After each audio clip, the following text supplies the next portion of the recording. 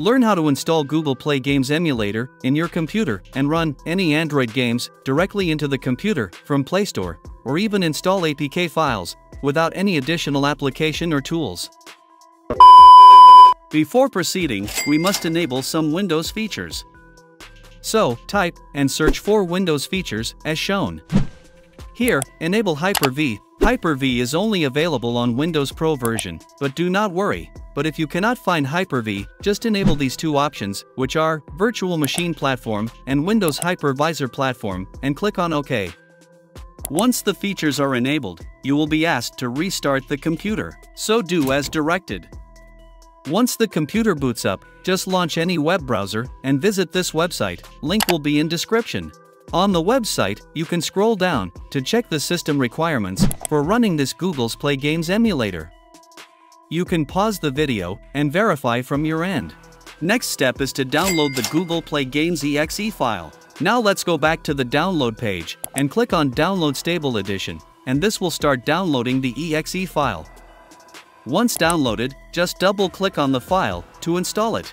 I have made a video on another way to run Android apps and games in Windows. You can click on the icon at the top right corner of the screen.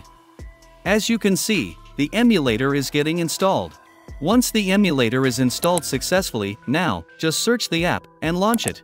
When it's your first time installing the emulator, you are required to log in with your Google account. So when you're using the emulator, you can use Control key plus letter B to go back. And Control key and letter H to go back to home screen.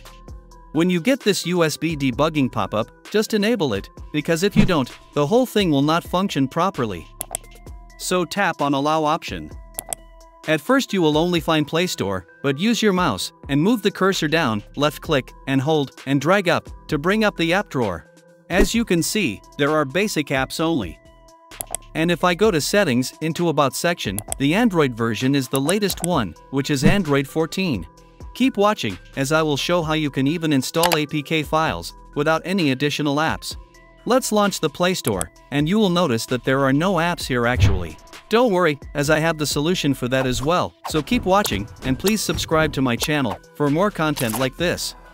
You will only find books and various games like Free Fire, Asphalt, Clash of Clans, and many many more, which you can simply install and play on the go.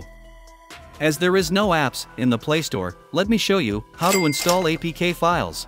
From the search bar, situated on the taskbar, just type and search for CMD and run it as an administrator. A black window like this will appear, called Command Box. Now, type this command, which is ADB, give a space, devices and hit enter. You will see list of device attached, which is the emulator. Now type another command. This specific command will install the APK file. adb space install space. And go back to your file manager of the computer and navigate to the location of the APK downloaded. You can look up in Google search for your required APK file. I have the WhatsApp APK file. Just right-click on the file and copy the entire path as shown on the video. Once done, head over to the CMD box and paste the file path and hit enter. Once done, you will get this success message. Let's go back to the emulator, swipe up, and as you can see, the WhatsApp is installed successfully. It's working as any other Android apps. Now, if you want to play PlayStation 3 games in computer, watch the next video.